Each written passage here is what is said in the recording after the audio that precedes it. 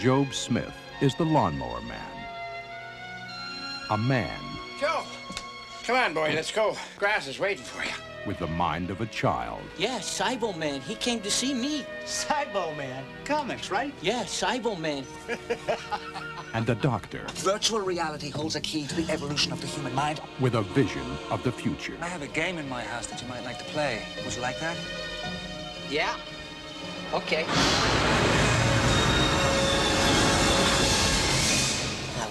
Bad. I have different games. I even have one that could help make you smarter. Now, Jobe Smith is about to enter the world of virtual reality. Ah! It's gonna hit no, no, no, Jobe, just relax. It's gonna be like being up there with the stars, Jobe. Like going to another planet. His mind is like a clean, hungry sponge.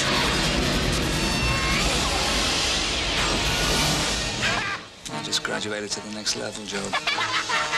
You're not the lawnmower man. Oh, you've certainly changed. I don't know how you did it, but I approve. I absorbed Latin yesterday in less than two hours. Jobe, where are you? Ah, oh, Jobe. A world where the normal course of events can suddenly turn inside out. You realize, Dr. Angelo, that my intelligence has surpassed yours. The imaginary becomes real, Trying to get inside my head, Joe. You can't hide anything from me, Dr.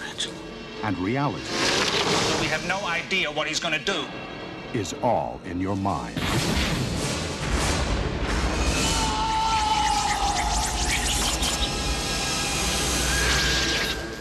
The Lawnmower Man.